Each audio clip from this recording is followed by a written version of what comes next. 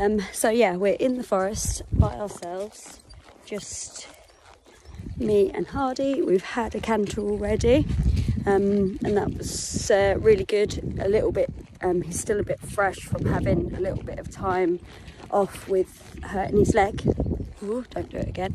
Um, yeah, he's still a little bit fresh from having a little bit of time off. We haven't done tons of canter work, hence we've come today just to have a couple of um, good canters because trying to hack round ours and get some good canters in and I've cantered in the school a little bit um, but I just wanted to come here because it feels just a bit more fun and feels a bit more like you're on the cross country course instead.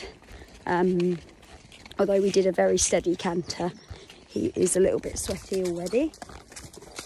So we won't do tons um,